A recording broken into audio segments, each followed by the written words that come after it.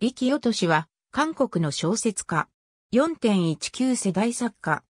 非常に多くの作品の残した多作な作家であり、その作品傾向や技法も多様である。多様性こそ、李の文学哲学とも言える。その作品のいくつかは映画化され、映画界に少なくない影響を及ぼした。李は1939年8月9日、全羅南道長江軍大特有、牧里に生まれる。幼い頃に弟と長兄を亡くす。特に長兄の死は、李のその後の人格形成に少なくない影響を与えている。李の長兄は本を多く残し、李はその本を読むことで兄を追体験していった。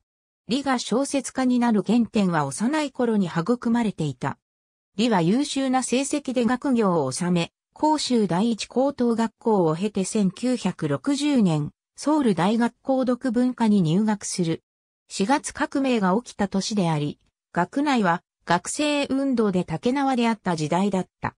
李は三文時代の同人となり、金賞、玉や僕安氏仁志、キムヒョン、サイカリン等と文学修行をする。李はソウル大学在籍中の1965年、隊員が思想会新人文学賞に受賞して文壇に登場する。その後、次々と作品を発表していき、1967年には、で、東人文学賞を受賞した。李の執筆活動は1970年代に入ってからより活発になる。李の初期の作品は、現実と観念、または虚無と意志の対応関係を意識し、経験的な現実を関連的に解析し、象徴的に表現する傾向がある。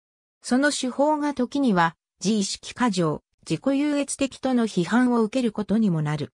そうした批評を吸収しつつ、社会をより鋭く問う、等のベストセラーを生み出す。李の後期作品は題材を土着解雇に求め、をはじめとした民族の教習を強く意識した作品を執筆する。